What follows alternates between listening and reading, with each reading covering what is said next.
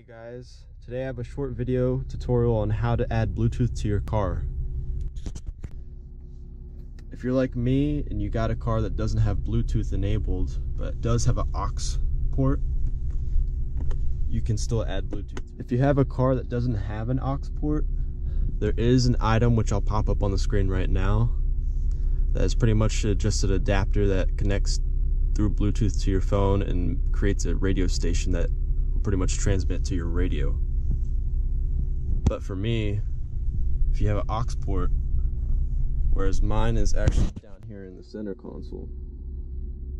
Now, depending on the location of where your aux port is, whether it's up front or in the center console, you probably want to use the plug that's closest to it just so you don't have to have cables running everywhere.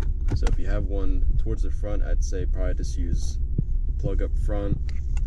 Or if you're like my car, you have it towards the center console, you can always use the little plug. They have usually centered somewhere in here.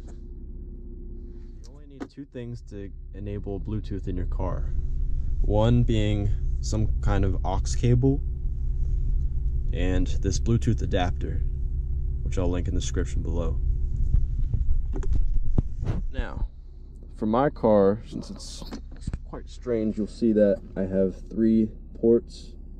This is mainly for video for yellow, and then left audio and right audio. If you just have a normal aux port, you just plug a normal cable in. But for my car, I had to get a special cable that had both left and right audio ports. So I'll link this one in the description, also a normal aux cord. So all you need to do is just plug in little Bluetooth adapter. You'll see a blue light come on, meaning it's powered. And then also at the same time, you just got to plug in your aux cords into the car, and the other side into the back of this adapter. That's all you need. Now I'll go over to my phone.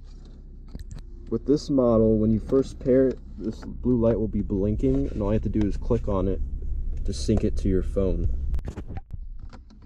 In the Bluetooth settings, you'll find it under iTrip right here.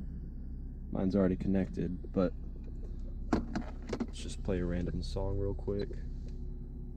Turn up just enough so you can hear it, and there you go. Bluetooth enabled. Hope you guys enjoy that simple tutorial. Only need these two little pieces to add Bluetooth to your car, which is pretty cheap. And yeah, hope you guys enjoy. Thanks for watching. Until next time, peace.